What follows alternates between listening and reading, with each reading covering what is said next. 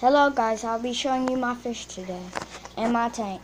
You know you gotta have that, all that good stuff. But also, down here, you can't see it, but I have hermit crabs. So that one's named, well, Oscar, because that's what its real name is.